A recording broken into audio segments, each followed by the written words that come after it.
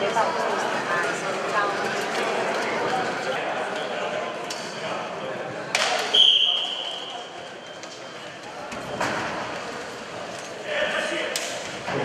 persone, perché sono dove